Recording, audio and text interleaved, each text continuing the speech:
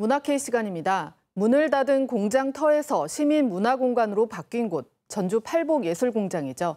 폐허였던 이곳에서 예술의, 예술을 꽃피우는 젊은 예술가들이 있습니다. 함께 만나보시죠. 산업단지 한복판.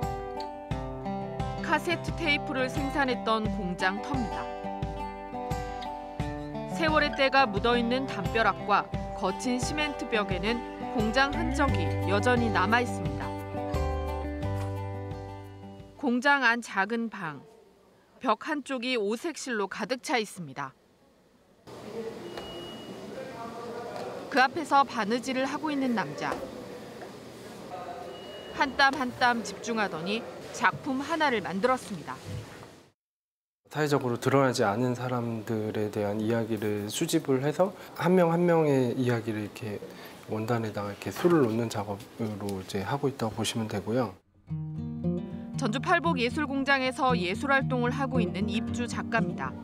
사회적 약자, 소수자에게 관심을 가지고 그들의 이야기를 양복 원단 위에 반짝이는 실로 그려 넣었습니다. 빛나는 시를 쓴 거는 그들의 이야기가 사실은 뭐 감춰야 되는 이야기가 아니고 당당하게 아름답게 빛날 수 있는 얘기라는 거를 어, 보여주고 싶어서 관람객과 예술의 소통이 중요하다는 작가에게 팔복 예술공장은 안성 맞춤입니다.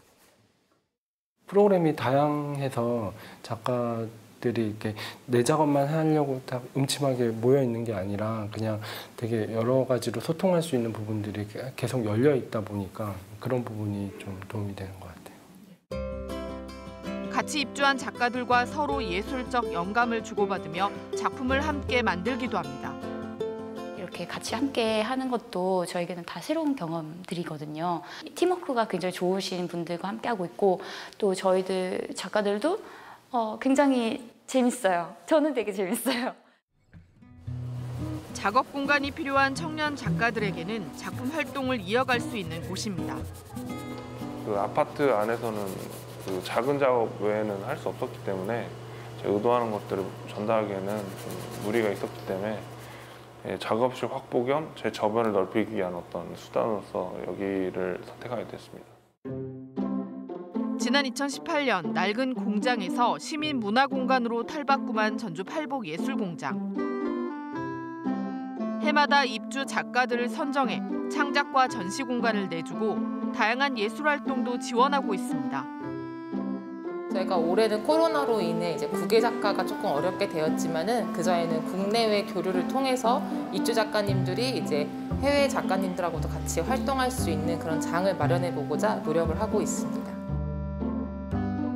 올해는 작가 7명이 공장에 터를 잡았고 작품 활동 중간 결과물을 선보이는 전시회도 열고 있습니다. 청년 예술가들의 상상력이 담긴 실험적인 작품들과 입주 작가들끼리 협업해서 만든 작품도 전시됐습니다. 힘든 시대를 살아가는 우리 모두가 예술을 통해 위로받길 바라는 작가들의 고민이 담겼습니다. 코로나가 어, 물론 힘든 일이고 또 정말 모두에게 정말 힘든 시간이었지만 또 그 시간에서 이렇게 얻을 것도 분명히 있었고 작가로서 좀 더 숨겨진 어, 이 이면들을 어떻게 나눌 수 있을까 이런 고민도 사실 저는 좀 했었고요. 예술가들이 머물며 교류하고 창작의 영감을 받고 대중과 소통하는 곳. 예술이 대중들에게 가까워지려면은 전시뿐만이 아니라 이런 공간에서도 계속해서 만날 수 있는 어떤 장이 펼쳐져야 되는데 그런 부분들이 더 활발했으면 좋겠다. 폐허 속에서 움튼 예술의 꽃. 대중의 관심을 받고 더 활짝 피길 바랍니다. KBS 뉴스 이화연입니다.